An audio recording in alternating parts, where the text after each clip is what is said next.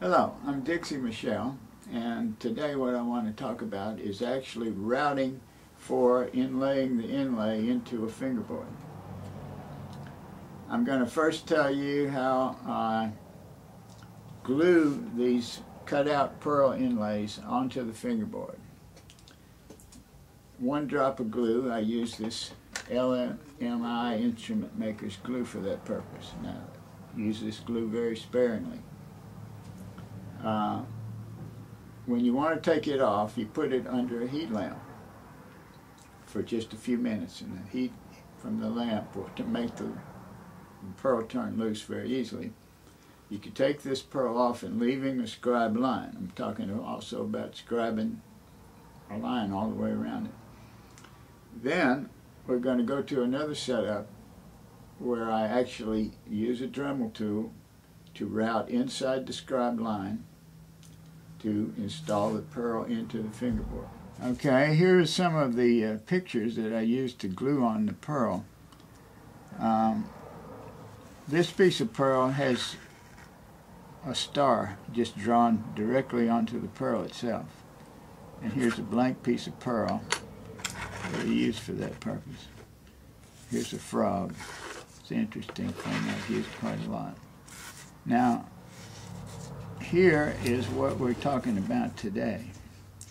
This is a, fingerboard that I've cut all the inlays out of the pearl and glued them onto this fingerboard with one drop of glue. Now, I'm, today I'm going to go through the action of actually taking these off here, leaving the scribe line, and then the Dremel tool will route this out and this piece will fit perfectly down in there. Here's the fingerboard that's already been inlaid and engraved. So these things you can see come alive after they're engraved. Here's another piece that uh, I put this inlay from an old banjo. I actually took a picture of the banjo neck at Kinko's Copies cut this out and pasted it on a piece of pearl, which I'm going to cut out later. All right. And you notice that I've got this glued on here and I've got an arrow pointing straight up and that tells me that I'm going to put this back in here once I take it off in the same place. All of these pieces are that way. So I'm in the process now of using the scribing tool and going around this area and scribing all the way around this particular inlay.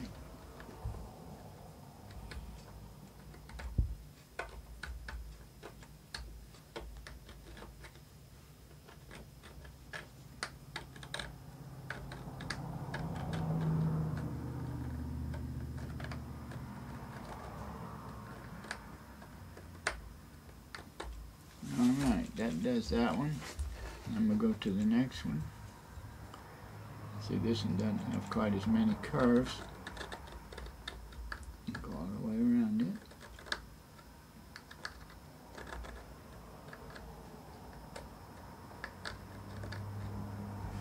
Okay, now this has been under the heat lamp for a few minutes and I think it's just about ready to come off of there so we're going to see. I'll just take it with my fingers, give it a little twist. There, Glint. See how easy that is? Now let's see if this one is gone. Yeah, that came off easy too. And you see my scribe line that's left? That's what we're going to use to route it. Now I've torn down my setup I had and I've gotten these uh, inlays completely loose from here and what I've left with is a scribe line and I hope you can see that scribe line right there. Now I've got an extra piece of wood clamped on here and that's because on this first fret I'm going to need something extra out here to let my router ride on. So I'm going to stay right inside that scribe line. I'm going to turn this on and I'm going to start routing.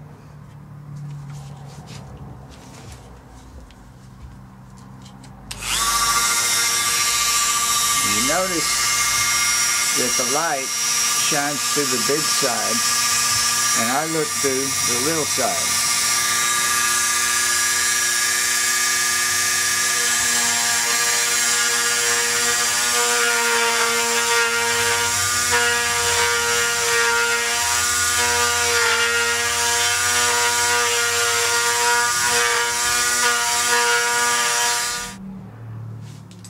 Okay, that I've got this fitted in here, I'm going to go on and route for each one of these pearl inlays and fit them all in there. Then I'm going to glue them in. Now what I use for gluing them in is this new version of super glue called Gorilla Glue. And this is a whole lot stronger than regular super glue. And it's what I use to put inlays in. Uh, after they're in there, I'm going to sand this down again because my inlays are sticking up just a little bit proud. So I'm going to sand the whole fingerboard again to where it fits the same radius it always did. The job is finished. Then, then it's going to be engraved like this one here. After it's engraved, then I'll put the frets in it. The frets are hammered into these slots that were previously cut. After the frets are in, they'll be dressed flat and after that's done, the binding is put on the edge with this same super glue that I just showed you. Now that I've taken you through this process of how I do the inlays, the frets, and everything in fingerboards, I think I've covered all the ground. But if you have any questions, I wish you would use the comments on the videos and ask me for another video, and I'll be glad to do that.